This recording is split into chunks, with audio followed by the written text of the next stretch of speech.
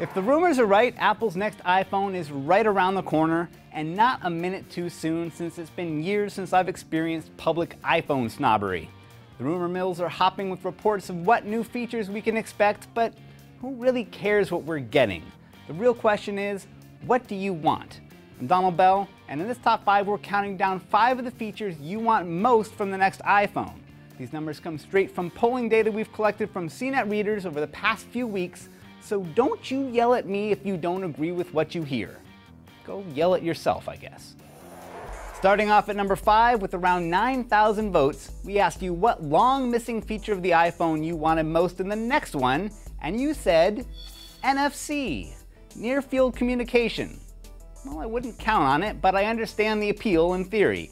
If nothing else, it could turn the undeletable Passbook app into a functional wallet that you still won't use and can't delete. Also, the airdrop feature of iOS 7 is already bringing local file sharing without the awkward ritual of bumping your phones together. I'm glad somebody wants NFC, but it's not me. I'm not rubbing my phone on stuff. When they come out with introvert germaphobe communication, then we'll talk. All right, when we asked you what feature you wanted most from iOS 7, we got nearly 10,000 votes for number four, Control Center. I don't blame you. This is Apple finally admitting that Android had the right idea when they took all the most frequently used settings and plopped them into one panel that you can access from any screen. No more digging around for Bluetooth or clicking three places just to adjust screen brightness. With any luck, you may never have to open the real settings menu again. For number three, we asked you what kind of material you wanted the iPhone to be made from. Maybe Kevlar like the Moto X or plastic like the Galaxy S4, but instead you voted for metal.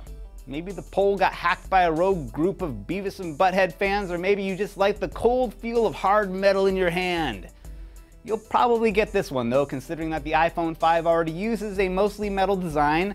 Rumor is we'll also get a low-cost plastic version of the iPhone, which is exciting news for the 6% of you who voted for plastic.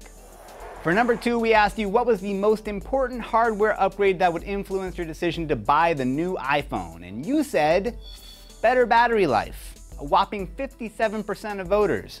I totally know where you're coming from. How much of our lives do we spend tending to our battery life? And you just know that a decade from now, all these things will harvest wireless ambient energy and we'll have to bore our kids with tales of the great lightning cable shakeup of 2012?